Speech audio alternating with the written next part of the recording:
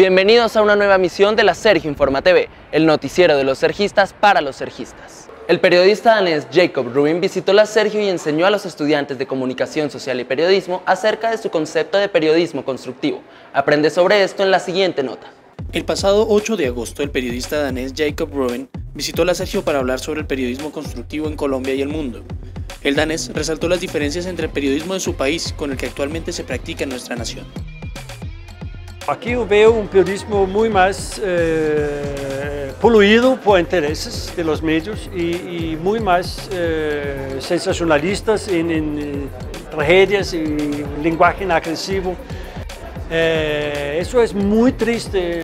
Não, não temos este nível em Dinamarca, mas creio que que los eh, un paralelo es la falta de credibilidad que tenemos en Dinamarca, que, existe aquí y, la amenaza que presenta eh, eh, las nuevas fuentes de comunicación, media eh, que es de, de, de, Facebook, del mundo virtual, que es, una persona puede poner un, una noticia falsa y ya 10.000 personas leen en 5 minutos. Es una amenaza que tenemos en Dinamarca, que deben existir aquí. Entonces eh, hay muchos paralelos, hay muchos paralelos y lo que es más paralelo es que ciertamente eh, el periodismo puede asumir una responsabilidad mayor en la sociedad, tanto aquí como en Dinamarca. Álvaro Velandia, docente de la Escuela de Ciencias de la Comunicación, habló sobre la importancia de la visita de este periodista internacional a la serie. Organizamos un evento para que los estudiantes de la Sergio Arboleda también eh, pudieran conocer cuál es la experiencia de este periodista europeo, más exactamente danés, eh, y que compartieran con él un momento, pues ya que es difícil traerlo, solamente vino a dar unos talleres a Tumaco y fuimos una de las dos universidades en las que él estuvo aquí en Bogotá que es otra visión distinta del periodismo, ¿no? Es un periodista con mucha experiencia, un periodista que ha trabajado en varios medios, eh, trabaja en medios daneses, eh, ha trabajado también en colaboración con otros medios alrededor del mundo y tiene y esas experiencias pues, le han dado una visión eh, sobre lo que puede ser un periodismo distinto, ¿no? Entonces es lo que hace una reflexión es tratar de repensar el periodismo para que sigamos cumpliendo nuestra función social, esa de informar con todo el rigor. La periodista Dora Montero, directora de la organización Consejo de Redacción, quien hizo parte de la charla, dio sus comentarios acerca del periodismo constructivo en Colombia. Parte de lo que el periodismo hace tiene una labor social y esa labor social está en ayudar a la gente, eh, a las víctimas, a la población, en digamos que, que, lo que necesite en ese momento. Entonces, por ejemplo, cada vez que hacemos periodismo para narrar la memoria, cuando hacemos periodismo sensible al conflicto, estamos haciendo periodismo constructivo alojado en nuestra realidad. Al terminar el evento, Rubin dejó un mensaje para todos los periodistas de la Universidad Sergio Arboleda. Para los periodistas, un gran saludo, mucha suerte. Eh, espero que ustedes van a ser súper periodistas para mejorar sus sociedades y tengo mucha fe en ustedes. En ustedes. Por favor, haga su trabajo bien hecho. La Sergio siempre rompe las barreras y busca soluciones. En esta nota te contamos acerca de USAPI, el programa de la universidad que apoya y acompaña a las personas en condición de discapacidad. La Universidad Sergio Arboleda ha demostrado a través de su trabajo ser una de las más inclusivas del país. De la mano del proyecto USAPI, la Sergio busca eliminar barreras educativas y contextuales para los estudiantes en situación de discapacidad. Con apoyos audiovisuales, adaptaciones en salones, rampas y herramientas pedagógicas, el proyecto USAPI educa a la comunidad sergista para crear oportunidades y superar obstáculos. Realmente como universidad somos un, este, la universidad es un territorio incluyente claramente. Y para ello trabajamos todos los días y, lo, y en apoyo claramente con la, con la comunidad sergista, que son quienes dan aviso de, de ciertas barreras que tienen algunos estudiantes. Eh, para que nosotros las podamos eliminar. Por ejemplo, si hay un estudiante usuario de silla de ruedas que tiene que acceder a un segundo piso en un edificio donde no hay ni ascensor ni rampa, pues en ese momento pues se trata de, buscar la, mayor, la mejor solución que es la instalación, de una, la instalación de una rampa a largo plazo claramente, pero en este corto plazo lo que hacemos es tratar de que, que ese grupo esté ubicado en los salones de un primer piso o en un edificio que sí cuente con este tipo de acceso. John Barrera, un militar que con tan solo 20 años sufrió un atentado y perdió la movilidad en sus piernas. Ahora cumple su sueño de ser comunicador social y periodista con el apoyo de la Sergio y el proyecto USAPI. Era un sueño eh, querer ser militar toda la vida, pero pues de una u otra forma salió troncado este sueño. Eh, en base a eso pues conocí personas que me brindaron el apoyo de, estudiar. Bueno, la universidad tiene USAPI, en donde están vinculadas pues, personas militares en condición de discapacidad y personas en condición de discapacidad civiles de la, de la universidad. En esta pues nos brindan como el apoyo pues más, más organizado pues para la accesibilidad, de cómo las rampas si les sirven, qué tienen que hacer para cambiar digamos los salones o, o hablar con alguien, ¿sí? También lleva muy de la mano con decanatura de estudiantes y en algún momento pues nosotros como, como personas en condición de discapacidad nos sentimos como bajo de notas, como, como en, en, en una zona parte psicológica como eh, mal, entonces también nos brindan como ese apoyo y eso. Para las personas en situación de discapacidad, el reto principal es el apoyo, y la Sergio siempre está dispuesta a brindarlo. Con ayuda de psicólogos y talleres para las familias, USAPI aporta desde la Sergio al concepto de inclusión. Como USAPI, nuestro principal reto es que los estudiantes que entran al programa de inclusión se gradúen, eh, porque digamos que muchas veces el ingreso puede ser un poco más fácil que la permanencia. Entonces, el tema es garantizar que ellos culminen su proceso académico exitosamente. La universidad sensibiliza a la comunidad para que todos cumplamos nuestras metas, aportando también a las metas de los demás. Tu reto es el mundo, por eso siempre cuentas con la Sergio. Sergistas, ¿ustedes saben cómo inició la universidad? En la siguiente nota conocerás sobre su historia en la voz de aquellos que han tenido el honor de vivir la transformación de la Sergio. Rodrigo Noguera Laborde y Álvaro Gómez Hurtado en 1984 encontraron una casita en la calle 74 con 14, en la que visualizaron un sueño que hoy es realidad. La Universidad Sergio Arboleda, con 34 años sirviendo a Colombia. Muchos no saben cómo comenzó a forjarse nuestra historia, ni mucho menos lo que había antes de estos edificios y bloques que conforman hoy nuestra universidad. Por esto, la Sergio Informa TV quiso revivir esa historia, nuestra historia. Esa casa fue la casa de habitación del exministro liberal José Joaquín Castro Martínez, que si no estoy mal fue ministro de Educación y de Guerra de los gobiernos de López y Santos por allá en los años 40.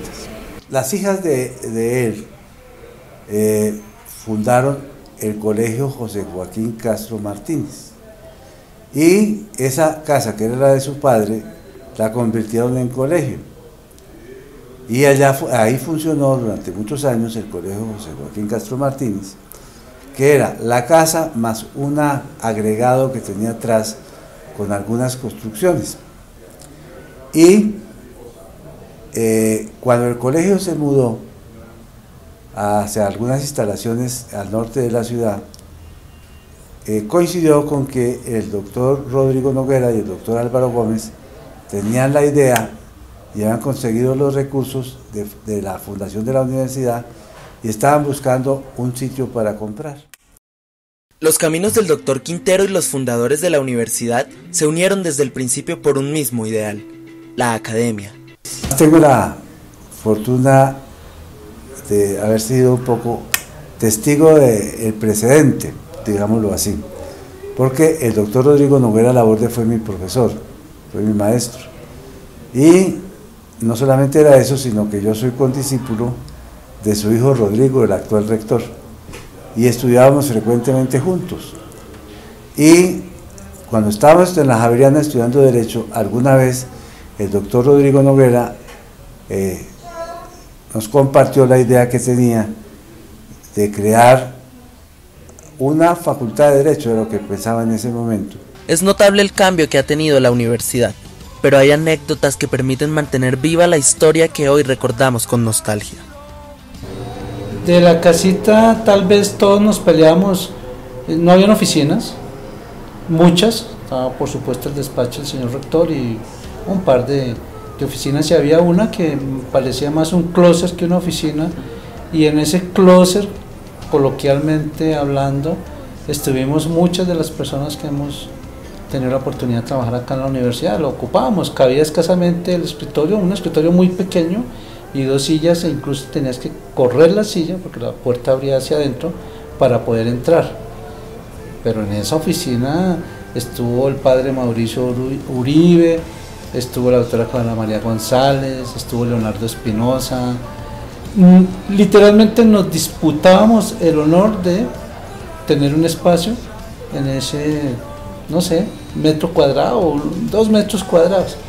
Tenía ese sabor y ese desafío de entender que la academia, cuando se quiere realizar, no importa el espacio físico en el que nos corresponda, allí estaremos atentos. Eh, mi oficina también quedó allá, en esa casa. Está, en esa época estaba la vicerrectoría administrativa, eh, un pequeño, una pequeña oficina donde trabajaba yo con la vicerrectoría académica y la rectoría en el, en el piso superior. Abajo estaba la secretaría y estaba la, la escuela la decanatura de la Escuela de Derecho. ¿sí? Y había una mansarda donde había otra, creo que estaba contabilidad arriba. Todo eso funcionaba por esa época en esa casa. Sergio sigue creciendo cada vez más. Hoy somos una institución con visión global y con una historia la cual debemos honrar.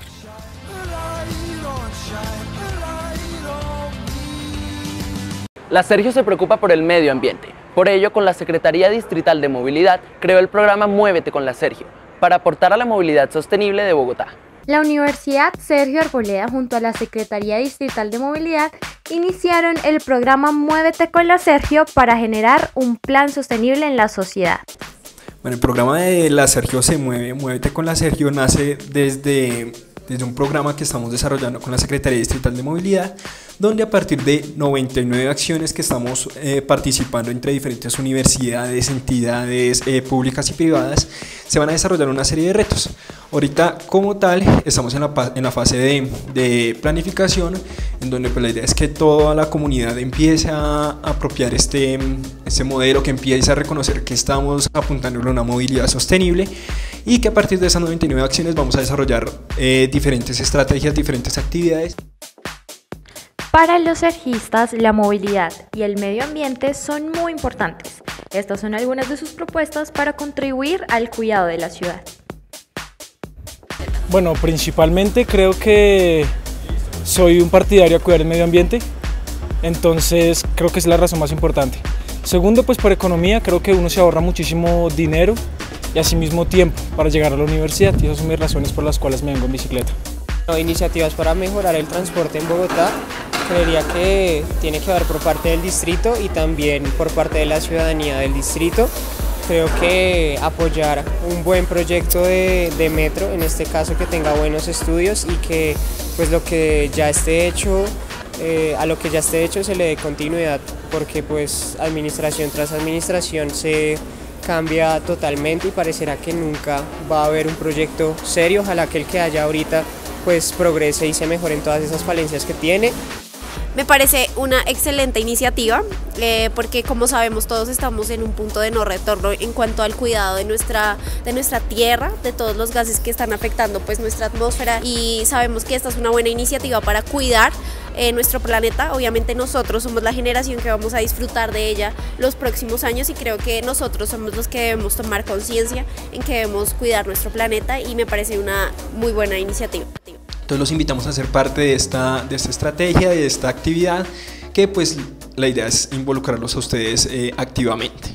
Este programa tiene una implementación de aquí a un año con el objetivo de desarrollar actividades enfocadas en los diferentes medios de transporte.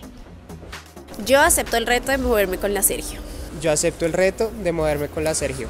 Yo acepto el reto de moverme con la Sergio. Yo acepto el reto de moverme con la Sergio. Yo acepto el reto de moverme con la Sergio. Ángela Garzón, una de las colaboradoras más queridas de la Escuela de Artes y Música, alcanzó su grado de bachiller con apoyo de la Sergio. Conoce su historia en la siguiente nota. Ángela Garzón es una de las personas que trabajan a diario en nuestra universidad para que todo permanezca impecable y de manera ordenada. Además, ha dedicado más de 11 años trabajando en el área de servicios generales. Mi área, pues yo también he aprendido, siento que he aprendido muchas cosas. A mí a veces me toca ayudar en el almacén, entonces conozco más de instrumentos, conozco cómo se arreglan para orquestas.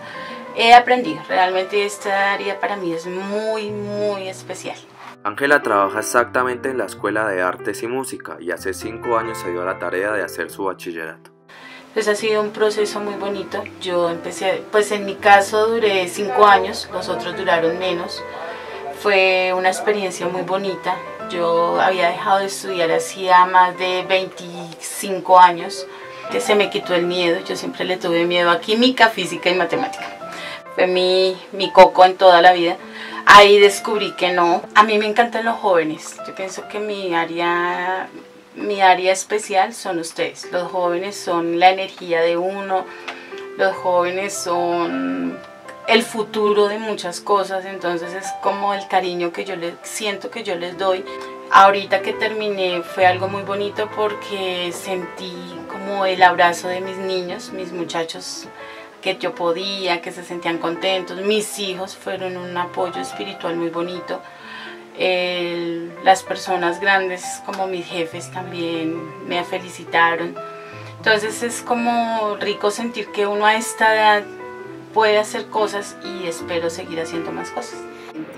Una persona muy organizada, siempre con deseos de surgir adelante, acaba de recibir su cartón de bachiller que la universidad le ayudó y la dirigió para que lo hiciera.